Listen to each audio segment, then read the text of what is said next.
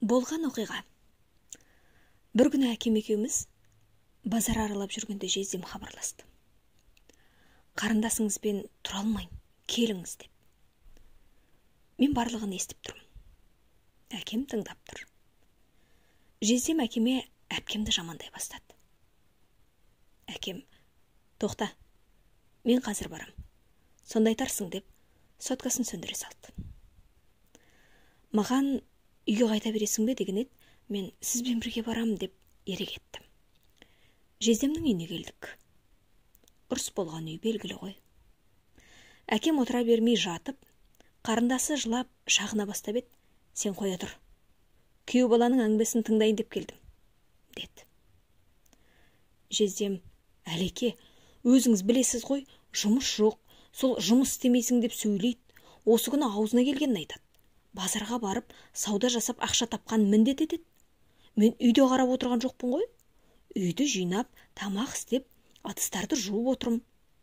Әкем қолын көтеріп қатып қалды. Тоқта сен неге қатын істейтін тірлікті жасауың керек? Еркек деген таңертең кетіп жұмысқа кешке келу керек. Жума ыдыс жинама үй. Осыларды асырау сенің еркектік міндетің. Қазір сен екеуіңнің міндеттерін ауысып кетіпті.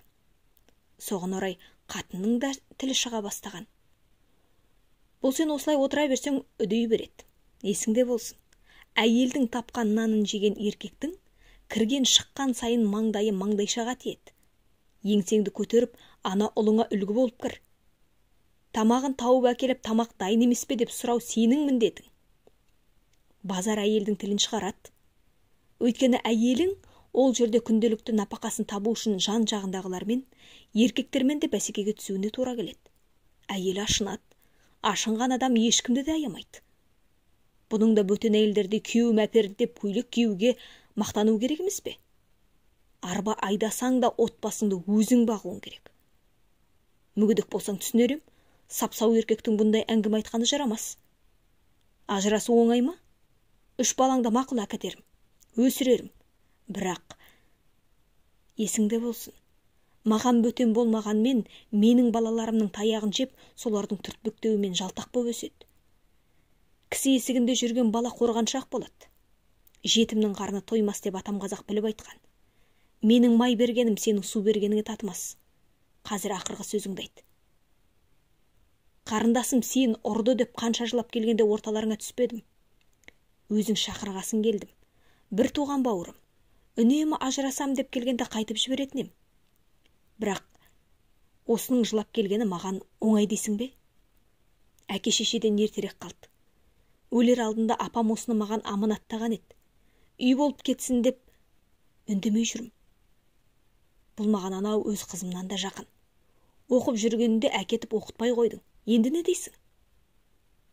Өзің айт. Әкет десең тұра алмаймын десең қазір әкетем. Бірақ мен бір әкеткесін қайтып жібермеймін. Бұлай жүре берсең ертең өз балаларыңа да қадірің қалмайды. Анасы сыйламаған әкені бала шаға сыйлайды деп ойлайсың ба? Сен қыз да ойлан тіліңді қысқарт. Бүгін кетсең қайтып келмейсің. Қалсаң қайтып жылап келмейсің. Үйде үнсіздік орнады үнсіздікті нағашы деп жүгірген жиеніміздің даусы бұзды.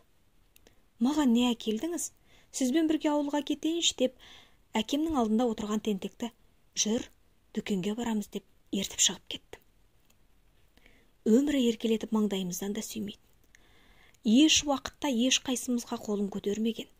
Бірақ сұсының өзіне бәрімізді ығыстырып жіберетін көп сөйлемейтін әкеме деген мақтаныш сезімі өсе кетті. Анам өмірінде жұмыс істеген адам емес.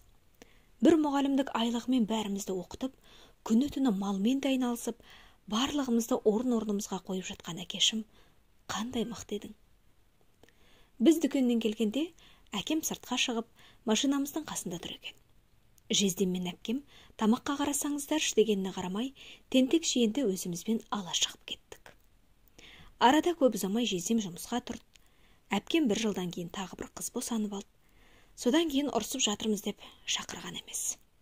Өмір деген сабақ қой. Оқыған айдана өміржан.